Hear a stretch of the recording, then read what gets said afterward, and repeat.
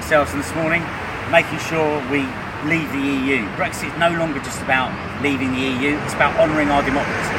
We need to make sure the local MPs in Croydon understand that message, getting lots of support, popular down here, popular as a party, and popular even with Remainers who know that our document of democracy has to be honoured.